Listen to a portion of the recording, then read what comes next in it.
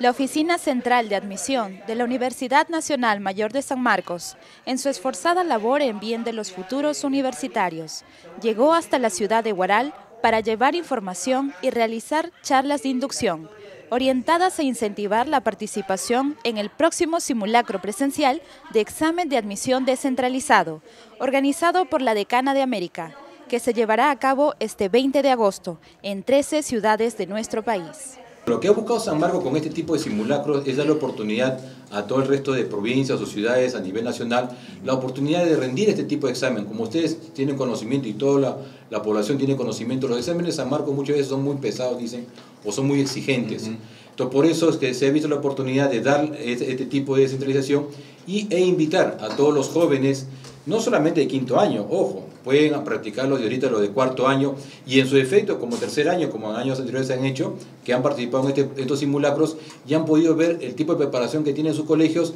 e ir preparándose para luego poder ingresar a estas universidades, en especial San Marcos u otras eh, públicas que son de, de mucha exigencia para sus ingresos. Así que invitamos a los jóvenes de Guaral a participar de este proceso, de este simulacro de examen de admisión a San Marcos, con, una, eh, con un monto de 30 soles y al código de la provincia que el Banco de la Nación. De esta manera, personal de la OCA visitó a nivel escolar colegios como Santa Inés,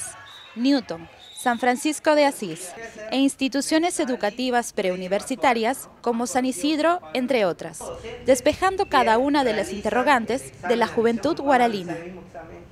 Cabe resaltar que las inscripciones para este simulacro permanecerán abiertas hasta este 11 de agosto, para mayor información, visita la página web de la Oficina Central de Admisión.